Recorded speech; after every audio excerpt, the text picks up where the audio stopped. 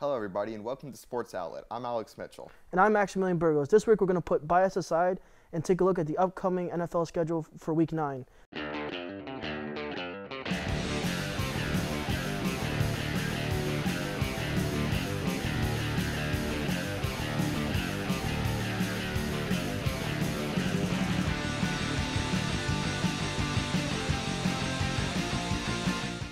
Thursday night football, five and two Bills versus the three and two, three and five Jets. How about that one? I feel like the, the Bills are really going to do well in that in that game. Yeah, I I really feel like the Bills in this game are going to come out and just really, even though the Jets have been playing well recently, I feel like Tyrod Taylor is probably going to take over the game a little. I feel like the Bills defense is definitely going to shut down the the Jets. There's Yeah. no way the, the Jets are going to pull this one out. I say 27 to 10 Bills. Ooh, well, I actually have the game a little closer because the Jets, even though they have been better, they've been playing in some close one, including against some good teams like the Patriots. So I actually have Bills 24, Jets 21.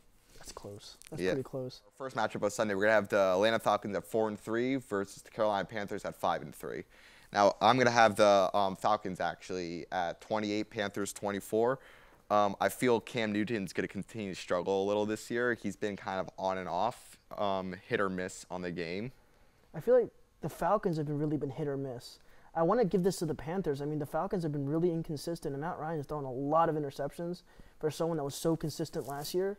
So I feel like the Falcons, the Falcons almost lost to the Jets. Like that game was way closer than it needed to be. So I feel like that I have to give this one to the Panthers. I And the Panthers have been inconsistent, but at least you know they they could, I feel like they can pull this one out. Well, the Panthers may have been inconsistent, but however, the Falcons have a really strong D, and if they can get their run game going behind Devonta Freeman and Tevin Coleman, they could really like just run away with the game because that can grind out the clock. And then they also have their um, deep threats in Julio Jones, Mohamed Sanu, and Taylor Gabriel, which have all been quality options. And like we've seen, Julio Jones can just completely take over a game. Yeah, I mean, you're right, but I feel like the Panthers got this one. Cincinnati Bengals at the Jacksonville Jaguars.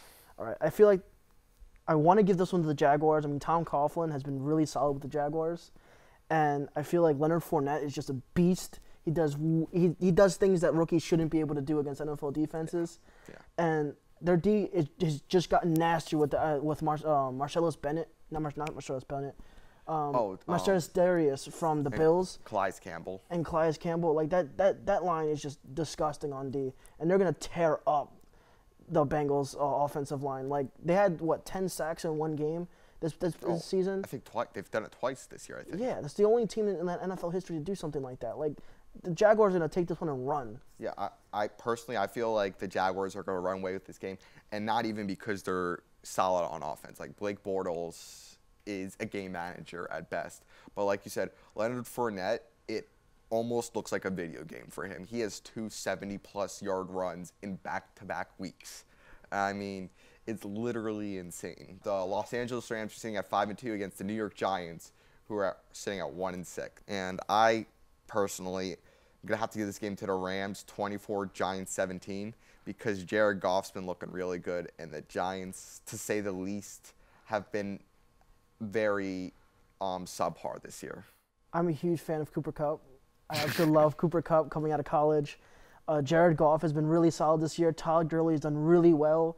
And honestly, uh, the Giants, with all of the injuries on their team, there's just no way they can compete with the just sheer talent that the Rams have. The Ra- Giants are not deep on de- uh, not deep on defense, like depth wise, and they just they just don't have the weapons to compete. I love you know the Giants as like my secondary team, you know New York team, but the Rams got this. Like I know this is a New York market, but I mean, to be honest, the Giants they've lost all the receivers but Sterling Shepard, who's listed as questionable this week, and their line is just pitiful. I mean, Ereck Flowers.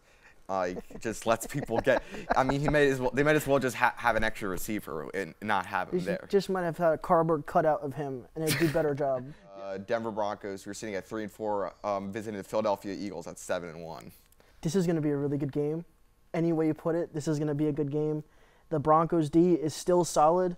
Brock Osweiler is starting, so that could be that could mean anything. But Carson Wentz and those Eagles, they look good. They're sitting at the top of the league right now, and Carson Wentz is in MVP conversation, and I don't know. I want to give this to the Broncos, but I feel like the Eagles are going to pull it out. I mean, they're just a different team than they were last year, and they just picked up Jay Ajayi. Yeah. So the, it, they turned an already good offense into an even better offense. Yeah, I, I almost say that this offense is basically elite at this point because the, not that they're putting up 35 every single game, but they're constantly moving the ball. Carson Wentz has 19 touchdown passes this year. He's looking like an MVP candidate, to be honest. And just uh, I don't I don't like to see how Jay will fit into this Eagles offense, but like the Broncos are really solid, so it's going to be interesting to see how Carson Wentz comes because I, I think they'll probably be the best defense he's faced up to this this year to this Yeah, point. Yeah, definitely. Yeah, we're gonna have the Indianapolis Colts at the Houston Texans, and for this game, I have Texans all the way. Colts 17, Texans 31. Deshaun Watson has been putting up points like it's nobody's business, and this offense has been rolling. And the Colts are a shadow of what they used to be uh, a few years ago. I, I just have to quote Russell Wilson here. Just go ahead and give him the rookie MVP, like the, roo- Yeah. the rookie of the year. Like Deshaun Kaiser in that game against the, Se- the Seattle Seahawks, him and Russell Wilson went to war. There's the first time in NFL history that two quarterbacks put up plus 400 yards, threw for four touchdowns, and ran for thir- for 30 more yards Each. Each. Yeah, it's- like it, it, it's absolutely ridiculous. He's playing at a level that he's not supposed to be playing at. Oh no. And like you look at some of his threats, you have Will Fuller, who is the ultimate deep threat. Like there was one point during the year where three passes he caught on the road were all touchdowns.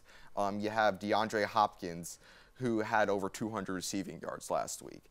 And then you look at the Houston D. While they have suffered some like serious injur- injuries with um, J.J. Watt, they're still a pretty strong D. They still have Jadeveon and Clowney, and I just don't see the Colts coming anywhere close to winning this game. For our next game, we're going to have the Tampa Bay Buccaneers sitting at two and five, going to New Orleans to play the Saints, who are sitting at five and two. I feel like the Saints got this.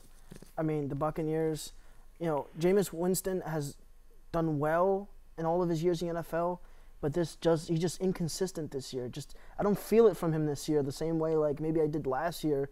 Like he's just struggling, and I and I wonder, you know, if it's his the receivers or what exactly it is, but they're just not utilizing their weapons properly. And Drew Brees is like one of the best quarterbacks to have ever lived. Like he he will go down breaking more records than even Peyton Manning at the end of his career if he can keep it going. And I, the Saints got this all the way. I, I feel like that game should be like ten to forty. Like the Saints are gonna put big numbers, especially with their defense playing better. Yeah, like one thing I've seen from both these teams this year is while they they're both very high scoring offenses, but um, the Saints have just been able to I'd say outlast their teams better. Like I've seen a resurgence of Drew Brees. Like the Saints the past few years have been around 500, maybe a game or two above or below depending on the year. But this year I don't know what it is. Like they've really just surged and the Bucks have once again underperformed. It's just been a rough year overall for the Bucks. We're gonna have the Baltimore Ravens sitting four and four at the Tennessee Titans who are four and three. And for this one, I'm gonna have to give the Ravens a slight edge, 27-24, uh, because I feel that the Ravens is very strong. However, though, that it it could go back and forth because Mariota has been on and off this season. Joe Flacco looks like a former like he looks like a shell of himself, and I don't even know if he's we don't even really know if he's gonna play this this game. Like is Oh he? no, I, I don't know. Like he, if Joe Flacco doesn't play this game, I think the Ravens may lose by double digits because Ryan Mallett just does not look like an NFL quarterback. Yeah, no, I feel like the Bill. I feel like the Titans definitely have this. Marcus Mariota is a really good, it's a really good quarterback, and they have DeMarco Murray and Derrick Henry in that backfield. Yeah. Titans got this. If DeMarco Murray can carry the run game like he does this year, the Titans will do well. Uh, however, the Ravens D have been really good at forcing turnovers this year. That's true. The Washington Redskins, he said, a three and four at Seattle Seahawks, who are five and two I feel like this is gonna be the upset of- of the. of the week. I feel like this is gonna be the upset of the week because like, the Raven, the Seahawks just finished playing a thriller like Oh, yeah, against Uh, against the Texans, and I feel like that team either they're gonna come in flat because they gave it their all in this last game, and the Redskins are gonna be able to capitalize on that on a tired Seahawks team, or the Seahawks are just gonna run away with it because I mean Kirk Cousins doesn't look the same this year. That the offense doesn't look the same. We're missing all of its weapons. You know, Pierre Garcon's gone. DeSean, um, DeSean Jackson. Jackson, Jackson. is gone. Like all those, all the, those great players that carried that offense are gone. Yeah, like I definitely feel this game has the makings for an upset. However, I feel like it's gonna be a little bit of the opposite. I feel the Seahawks D is really gonna come out, make a statement, especially with the 12th man behind them, because that's a difficult place to play. And like you said, Kirk Cousins just hasn't looked like himself. The receiver who they signed to significantly improve the team in Terrelle Pryor has been benched um, because he's been underperforming. And I've as as long as Russell Wilson comes out and keeps their offense going because they started out slow, but they've been really picking it up the past few weeks. I feel like they shouldn't have any problem. Arizona Cardinals sitting at three and four at the San Francisco 49ers, who are actually 0 and 8 on the year. For me, this is my upset of the week. I have the Niners getting their first win of the year against the Cardinals. It's gonna be 18 to 15. I think it's gonna be an ugly game. I don't think it's gonna be fun to watch for anyone, but I do think the 49ers are gonna pull out their first win of the week. I thought that the Rams 49ers game was going to be an ugly game where the 40, where the Rams just marched all over the 49ers, but the 49ers came to play that game.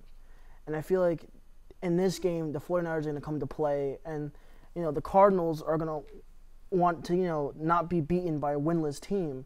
So yeah, the game's going to be ugly, but I feel like it's going to be the war on the ground. Adrian Peterson when he first came in with the Cardinals looked good, and I feel like maybe he could, you know, play off of that a little bit and it's going to be a war on the ground. Adrian Peterson, if he doesn't have a good game, the Cardinals don't stand a chance because Carson Palmer, their starting quarterback, is hurt right now. And it's going to be, if Jimmy Garoppolo plays this week, it's going to be interesting to see how he does in his first start. One of the premier matchups of the week, we're going to have the Kansas City Chiefs, who are sitting at 6 and 2, at the Dallas Cowboys, who are 4 and 3. So for this game, I have um, the Chiefs winning 24, Cowboys 21. And I feel like this could be a real close nail biter. But in the ongoing Ezekiel Elliott saga, he's once again suspended. So I don't know how that bodes for the Cowboys. The Chiefs got this game. I have no doubt the Chiefs got this game. The Cowboys defense is not as good as everyone thinks. The Cowboys offense is going to be really hurting without Ezekiel Elliott. And, you know, Dez Bryant to me is not an elite receiver. I feel like he doesn't get those catches. And even though that the Chiefs are struggling with their defense with Eric Berry missing, and you know they're starting to get exposed in that back end, I don't feel like Dez Bryant can can capitalize on that. I feel like the Chiefs' offense can control the game with Kareem Hunt and Tyreek Hill and Alex Smith as the game manager that he is. I feel like they'll control that game from the gate, and the Chiefs will win easy. I feel like the game will be 35 to maybe 20. Yeah, I mean, if the Chiefs' offense rolls like it can, it definitely can be all Chiefs all the way. But once again, like there adds in the factor the Cowboys always do come to play, so it can be an interesting mix. I Have the Oakland Raiders who are sitting at three and five against the Miami Dolphins who are four and three. The Raiders got this. Yeah. The Raiders got this because the Dolphins, they just traded away their number one running back, and they're already struggling this year. Jay Cutler is not, he's not a good quarterback right now for the for the Dolphins, and you know Tannehill is obviously out for the season, and Matt Moore is not a starting quarterback. No. So with no run game and no way to move the ball down the field, I don't see them winning. And the Raiders have, you know, are playing better now than they did in the, in the first half of the season. I see them winning more games. You know, Derek Carr's playing better. So I feel like the Raiders got this, and it should be an ugly game where the Raiders come out big on top. Yeah, I feel like the Raiders definitely in this game have a chance to really make a statement because they haven't played well in the past few weeks. They just had a bad loss to Buffalo, and as if they if Derek Carr can come out have a good game uh, like he did two weeks ago in that uh, thriller where he threw the game-winning touchdown with no time left, or Marshawn Lynch can come out and really get it, uh, really um, pump up the offense because I mean he's done nothing since week two, and he was ejected two weeks ago and suspended for the last game. So as long as the Raiders can come out and really make a statement, I think this can actually propel them to possibly a wild card spot. For our Monday night football game of the week, we're going to have the Detroit Lions, who are at three and four, um, at the Green Bay Packers, who are at four and three. And for this game, I'm going to have the Lions 24, the Packers 21. And the reason why I have this is because without Aaron Rodgers, the Packers just aren't that good. Their defense is just really bad, and their offense. I mean, Jordan Montgomery is okay as a running back, but he's been hurt recently, and Ty Montgomery. yeah, uh, Ty, Mon- Ty Montgomery has been hurt recently, and the um, Jordy Nelson. I mean, he's not going to really do much without Aaron Rodgers. I mean, you need a quarterback to throw you the ball. You're right. I feel like Matt Stafford has been cheated this year in a few games where the Lions should have definitely won and they didn't. To whereas last year they were he was comeback king, coming Yeah. back in what eight eight of nine games. Oh yeah, it was ridiculous. and like he like he set a record with that. And like Matt Stafford and those Lion team are better than they're playing than their record shows. And I feel like this is the game where they can show that they're better. It's a divisional game, and you know the Lions always come to play those divisional games. The Packers are gonna play hard, but the Packers just don't have it on defense. You know, and they don't have Aaron Rodgers who elevates the entire team. So Yeah. I feel like the Lions got it easy. yeah, especially because Matt Stafford's really shown he was worth that contract this year. Definitely. And so that's that's going to do it for us. Um, if you'd like to get involved with Lions Television, please email us at ltv at tcnj.edu. For LTV, I'm Alex Mitchell. And I'm Maximilian Burgos. We'll see you next time.